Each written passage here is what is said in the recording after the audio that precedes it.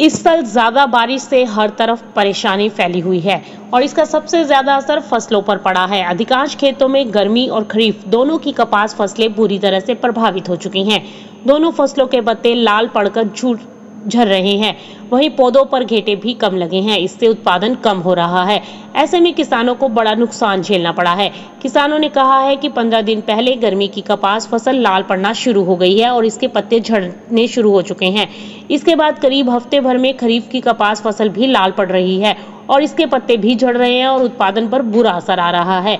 बुरहानपुर में खरीफ की पास कपास फ़सल करीब सैतीस हज़ार हेक्टेयर में लगी है। अकेले निम्बोला क्षेत्र में यह फ़सल पाँच हज़ार हेक्टेयर में लगी है। पिछले साल कपास का भाव अच्छा मिलने के कारण इस साल किसानों ने दोनों ही कपास फ़सलों का रकबा बढ़ाया है। निबोला क्षेत्र में गर्मी की कपास फ़सल इस साल 2000 हेक्टेयर में लगी। पिछले साल इसका रकबा 1500 हेक्टेयर था। इस साल किसानों ने 500 हेक्टेयर रकबा बढ़ाया है। वहीं खरीफ की कपास फ़सल का रकबा इस साल 2000 एकड़ बढ़ा है। क्षेत्र में पिछले साल यह फ़सल 3000 एकड़ में लगी थी, लेकिन इस साल ज़्यादा बारिश से दोनों ही फ़सलें प्रभावित हो रही हैं। बुरहानपुर की मंडी में अभी भी कपास खरीदी का मुहूर्त शुरू नहीं हुआ है। उधर पिछले दिनों तक चली बारिश के कारण फ़सल भी भीग चुकी है। उपज निकालने के बाद किसान इसे खलियान और आँगन में सुखा रहे हैं। मंडी में कपास की खरीदी शुरू नहीं होने का फ़ायदा बिचौलिए भी उठाते नज़र आए हैं।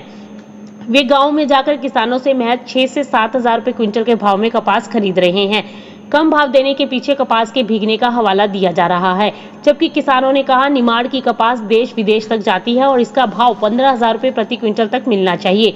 किसानों को मंडी में खरीदी शुरू होने और यहाँ अच्छा भाव मिलने की उम्मीद है।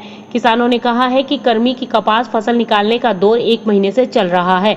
वहीं पंद्रह दिन से खरीफ की कपास भी निकाल रहे हैं। नवंबर दिसंबर तक खेती, खेत पूरी तरह से खाली हो जाएँगे और इसके बाद रबी की बोनी के लिए खेत तैयार होंगे। रबी सीज़न के तहत क्षेत्र में गेहूँ और चना सहित अन्य फ़सलें लगाई जाती हैं। इस साल ज़्यादा बारिश होने के कारण पानी की नमी नहीं होगी। इससे इन फ़सलों को ज़्यादा फ़ायदा होने की उम्मीद है। इससे रबी फ़सलों के अच्छे उत्पादन और बेहतर भाव मिलने की किसानों ने आस बांधी है। इससे कपास फ़सल में हुए नुकसान की कुछ भरपाई हो पाएगी। दरअसल ज़्यादा बारिश से फ़सलें प्रभावित होने का असर ये है कि जहाँ एक एकड़ में 15 क्विंटल तक उत्पादन होता था, वहाँ अब मात्र ही 10 क्विंटल तक उत्पादन पैदा हो रहा है। इससे किसानों को फ़िलहाल बड़ा नुकसान झेलना पड़ रहा है। Bureau report, Market Times TV.